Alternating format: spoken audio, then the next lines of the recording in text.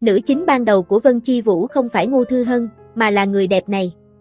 Vân Chi Vũ bất ngờ phát sóng không báo trước, nhưng vẫn nhận được sự chú ý cực lớn của khán giả. Theo nguồn tin trên Weibo, trước đó nữ chính của Vân Chi Vũ dự định là người khác, chứ không phải Ngô Thư Hân. Theo đó, Viên Băng Nghiên mới là nữ chính ban đầu của Vân Chi Vũ. Tuy vậy, nữ diễn viên lại bất ngờ vướng ồn ào về thuế, nên cô buộc phải rút lui khỏi làng giải trí. Bởi vậy, vai nữ chính Vân Vi Sam trong Vân Chi Vũ mới rơi vào tay Ngô Thư Hân. Ngô Thư Hân từng tâm sự, lý do khiến cô nhận lời diễn vai nữ chính Vân Vi Sam, dù cho đây là một nhân vật đầy thử thách, là vì đạo diễn Quách Kính Minh đã hứa hẹn, sẽ quay một bộ phim lưu giữ những hình ảnh đẹp nhất thời thanh xuân của cô, lời hứa tương tự cũng được đưa ra với nam chính Trương Lăng Hắc.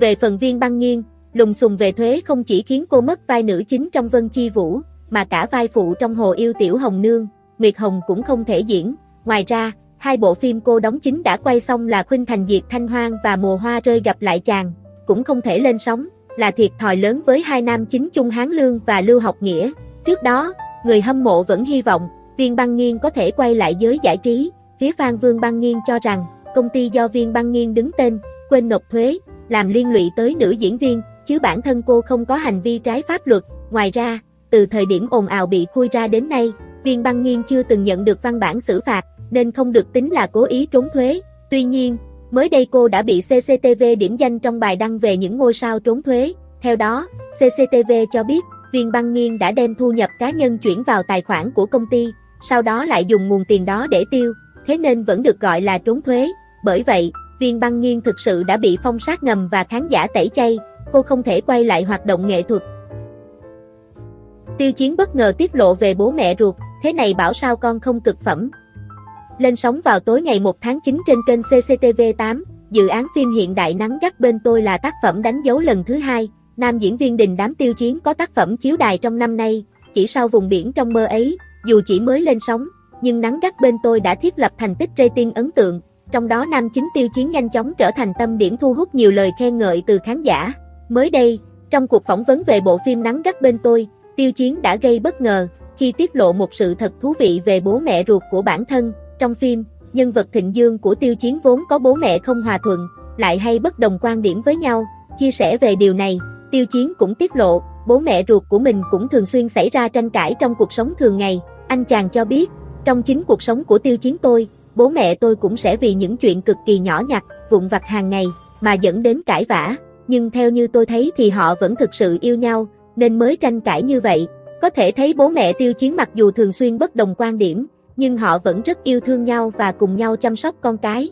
Chính tình yêu thương đó đã tạo nên một tiêu chiến tinh tế và ấm áp đối với tất cả mọi người xung quanh như thời điểm hiện tại. Trong nắng gắt bên tôi, tiêu chiến vào vai anh chàng sinh viên Thịnh Dương mới ra trường, vừa đi làm ở một công ty về thiết kế quảng cáo, vì là lính mới, nên Thịnh Dương đối mặt với nhiều khó khăn trong sự nghiệp, nhất là chuyện ma cũ bắt nạt ma mới, với nét diễn xuất ổn định, chân thực, Tiêu Chiến hiện đang nhận được những đánh giá tích cực của khán giả khi tham gia đóng chính nắng gắt bên tôi. Mặt một của Bạch Lộc trong phim mới bị chê bai vì quá đàn ông. Sau loạt phim hot như Châu Sinh Như Cố, Trường Nguyệt Tẩn Minh, Bạch Lộc tái xuất màn ảnh với Bắc Thượng, bộ phim thuộc thể loại chính kịch khá khó đóng, thế nhưng tạo hình trong dự án phim của nữ diễn viên mới là điểm gây tranh cãi. Được biết, trong phim Bạch Lộc sẵn sàng hy sinh hình tượng, để tóc ngắn và không trang điểm, ngay khi hình ảnh này được tung lên trên mạng xã hội, đa phần cư dân mạng đều chê bai, vì nhìn nàng tiểu hoa quá đàn ông, một số khác cho rằng, Bạch Lộc hẳn phải rất kính nghiệp mới có thể dám nhận vai diễn này. Trong quá trình quay phim, những hình ảnh giản dị của nữ diễn viên cũng được lít ra, và nhận về phản ứng không quá tốt, hy vọng diễn xuất của Bạch Lộc sẽ bù lại phần tạo hình. Hiện tại phim Bắc Thượng đã đóng máy, nữ diễn viên dụng tâm viết hẳn một bức thư tay cảm ơn người hâm mộ, vì đã luôn bên cạnh hỗ trợ mình hoàn thành bộ phim. Bắc Thượng kể về các thiếu niên cùng nhau lớn bên bờ kênh đào, tại đây, Tạ Vọng Hòa, Tinh Trì và Hải Khoát luôn ở bên bảo vệ Mã Tư Nghệ, thế nhưng Tư Nghệ biến mất sau khi bà và em trai lần lượt qua đời, ba chàng thiếu niên năm nào cũng rời quê hương lên Bắc Kinh mưu sinh, bốn người gặp lại nhau sau nhiều năm xa cách, tiếp tục trở thành hy vọng và niềm tin sống cho nhau, phim đang bước vào giai đoạn hậu kỳ, và dự kiến sẽ lên sóng vào năm sau. Vinh quang của bậc cha chú của Trương Vãn Ý mở điểm đu ban với con số gây bất ngờ. Nhờ màn thể hiện quá xuất sắc trong siêu phẩm cổ trang trường tương tư, Trương Vãn Ý đã vụt sáng thành sao, trở thành gương mặt được rất nhiều khán giả quan tâm. Thời điểm hiện tại, có một tác phẩm của anh đang phát sóng, đó là Vinh Quang của bậc cha chú. Mới đây, mạng xã hội lan truyền thông tin, dự án Vinh Quang của bậc cha chú do Trương Vãn Ý đóng chính, đã chính thức mở điểm đu ban. Theo đó, dự án đạt được con số 8,7 điểm. Đây là số điểm khá cao, cho thấy diễn xuất bứt phá của Trương Vãn Ý trong một dự án chính kịch. Hiện tại, dự án Vinh Quang của bậc cha chú có rating tạm ổn, vượt mốc 1, có thể thấy, nhờ thành công của trường tương tư, những dự án mới của Trương Vãn Ý được hưởng ké vận may với thành tích tốt, hứa hẹn trong tương lai anh chàng sẽ nhận thêm nhiều tài nguyên phim mới tốt hơn. Vinh quang của bậc cha chú lấy bối cảnh ở Trung Quốc vào cuối những năm 1990, khi ngành lâm nghiệp bắt đầu giảm sản xuất, hạn chế chặt đốn, cắt giảm công nhân, lần đầu tiên, gia đình Cố Trường Sơn và các thành viên của đội công tác 923 phải đối mặt với sự lựa chọn ở lại hay ra đi. Cố Trường Sơn đã nhận nuôi cậu con trai Hưng Kiệt của đồng nghiệp hy sinh khi làm nhiệm vụ, sau khi đắn đo, cuối cùng gia đình họ Cố vẫn quyết định tạo điều kiện cho Hưng Kiệt ra ngoài tiếp tục việc học. Cuộc khủng hoảng sa thải cũng chấm dứt, với việc một số thanh niên ra đi trước, còn những người ở lại, dưới sự lãnh đạo của Cố Trường Sơn, đã thành lập một khu rừng sinh thái gia đình, để tạm thời giải quyết cuộc khủng hoảng sinh kế. Năm 2007, để bảo vệ hệ sinh thái, nâng cao dân sinh, dự án tái định cư nơi rừng núi hẻo lánh bắt đầu, đội 923 một lần nữa đứng trước vấn đề ra đi. Hưng Kiệt được chuyển về Đại Sơn, đảm nhận nhiệm vụ huy động người nhập cư, tìm thấy giá trị của bản thân và gánh vác sứ mệnh cải cách lâm nghiệp trong bối cảnh hạn chế khai thác toàn diện vào năm 2014 và 2015. Hưng Kiệt đã tích cực hưởng ứng lời kêu gọi, núi vàng núi bạc không bằng núi xanh nước biếc, đồng thời dẫn dắt gia đình anh và nhiều người dân trong khu rừng, hướng tới một cuộc sống mới tốt đẹp hơn. Nữ thần thanh xuân thế hệ mới Trương Miễu Di, rạng rỡ đón sinh nhật tuổi 25. Trương Miễu Di hiện là nữ diễn viên trẻ được ưu ái với danh xưng nữ thần thanh xuân thế hệ mới trên màn ảnh hoa ngữ, ngày 13 tháng 9, cũng chính là sinh nhật lần thứ 25 của cô nàng. Nữ diễn viên hạnh phúc khi được nhiều đồng nghiệp và người hâm mộ chúc mừng tuổi mới. Ngay từ tối ngày 12 tháng 9, tài khoản Weibo phòng làm việc của Trương Miễu Di cũng đã đăng tải loạt hình ảnh mới, kèm lời chúc sinh nhật đến cô nàng. Chúc mừng sinh nhật, không chỉ hôm nay mà năm này qua năm khác, sáng ngày 13 tháng 9, nữ diễn viên cũng cập nhật bộ ảnh cổ trang trong trẻo chào mừng tuổi mới, với dòng trạng thái ngắn gọn sinh nhật.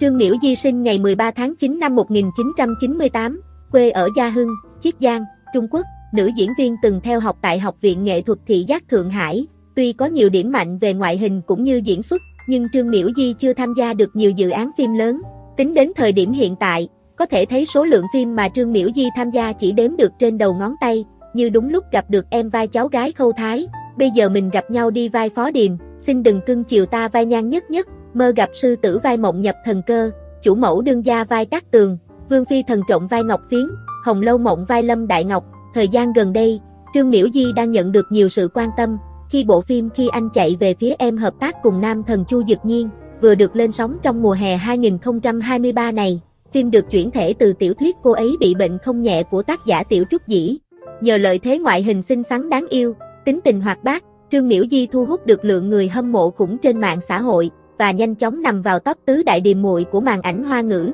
cùng Triệu Lộ Tư, Ngô Thư Hân, Điền Hy Vi, trước đây vị trí này thuộc về Cúc Tịnh Y. Lộ giá các xe của Tiểu Hoa 95, Triệu Lộ Tư ở đẳng cấp khác với phần còn lại.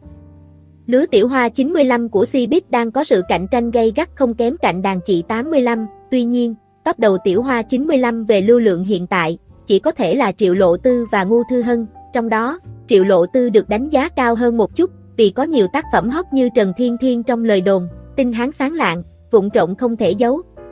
Trong khi đó, ngu Thư Hân chỉ mới dắt túi thương lan quyết, khúc biến tấu ánh trăng, và khu rừng nhỏ của hai người, tuy được đánh giá không tệ, nhưng độ hot thua xa những tác phẩm khác của Triệu Lộ Tư. Tuy nhiên, Ngô Thư Hân lại có lượng fan đông đảo, chịu chi, và hình ảnh thời thượng, khả năng mang hàng tốt hơn Triệu Lộ Tư. Cũng vì lẽ đó, hiện các xe của Triệu Lộ Tư cho một bộ phim truyền hình là vào khoảng 20 triệu tệ, Ngô Thư Hân kém hơn mỹ nhân họ Triệu một chút, còn những tiểu hoa 95 đang có xu thế thăng tiến, có thực tích và tài nguyên tạm ổn như Trương Tịnh Nghi, Lý Lan Địch, các xe ở mức 8 đến 12 triệu tệ, những người khác chỉ ở khoảng mấy triệu tệ.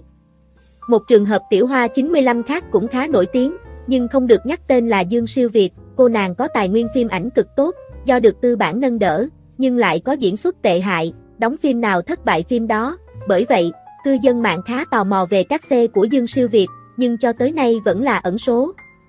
Tống Tổ Nhi cũng là một trường hợp đặc biệt của Hoa 95, cô nàng sở hữu nhan sắc và diễn xuất, là sao nhí nên có quốc dân độ nhất định, tài nguyên phim ảnh cũng không phải dạng vừa, nhưng lưu lượng lại khá kém. Tống Tổ Nhi kỳ vọng sẽ xoay phim sau Chiếc Yêu, để bật lên hàng lưu lượng, nhưng vướng lùng xùng trốn thuế đã khiến sự nghiệp của cô đi vào ngõ cụt. Nếu Tống Tổ Nhi không vướng ồn ào, cô có khả năng sẽ trở thành đối thủ đáng gần nhất của Triệu Lộ Tư và Ngô Thư Hân trong dàn tiểu hoa 95. Video đến đây là hết. Hãy cho chúng tôi biết ý kiến của bạn về vấn đề trên bên dưới phần bình luận. Cảm ơn các bạn đã theo dõi video của kênh Chuyến Tàu Bát Quái. Nếu thấy hay và hấp dẫn, các bạn hãy bấm đăng ký và chuông thông báo để nhận những video mới nhất nhé.